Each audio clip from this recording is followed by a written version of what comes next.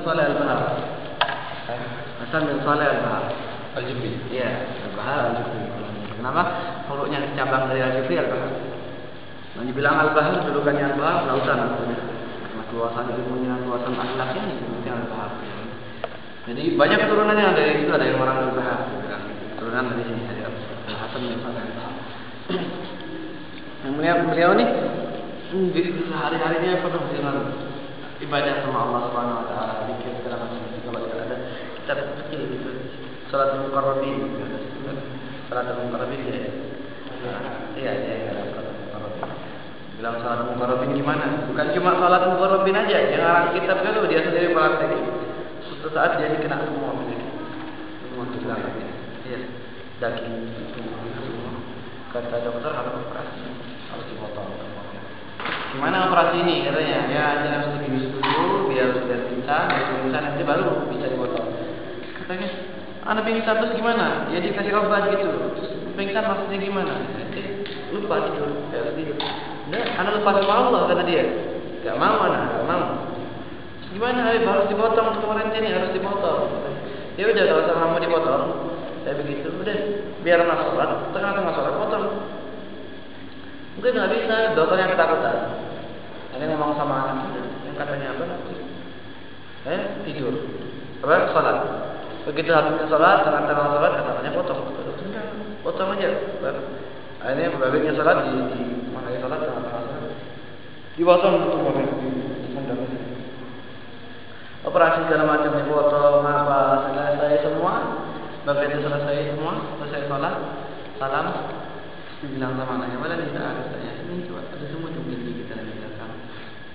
Ya operasi yang segitu kalau orang biasa nggak bisa pasti ribet ada sakit kusuk yang sholatnya itu apa? Bekas potongan. Yang kita sholat mukarrabin, kamu sholat mukarrabin kayak gini ya. Beliau kayak begitu sholat beliau tuh. Sholat mukarrabin.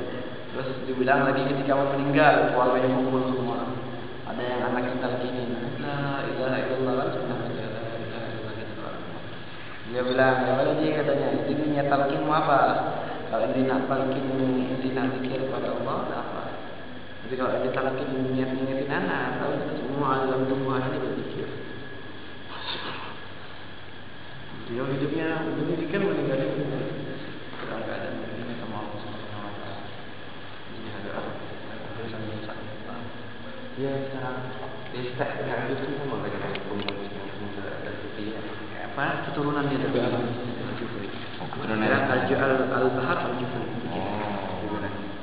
Ini Al-Bahar Sekarang Al-Bahar Al-Bahar. Iya. Banyak.